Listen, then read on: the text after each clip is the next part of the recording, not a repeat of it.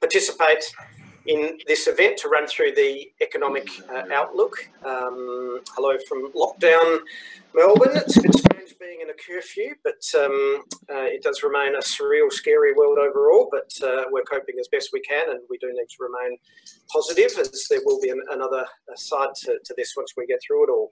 Um, and look, naturally, I prefer to.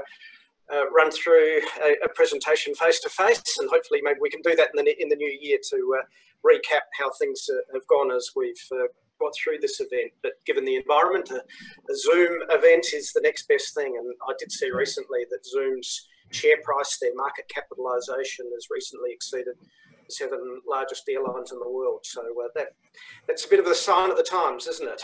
It um, certainly is. So, uh, so look, I'll, I'll, share my screen um, to.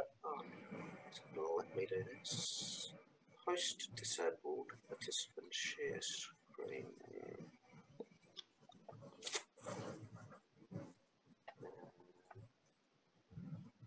I need to be enabled to share my screen. Yeah, Tony, you might have to share uh, unlock. Um, yep, you can go now, David. Go. No problems. There we go. So, um, uh, look, as uh, as I get that up on the screen and, and yell out if it's not clear. Um, but again,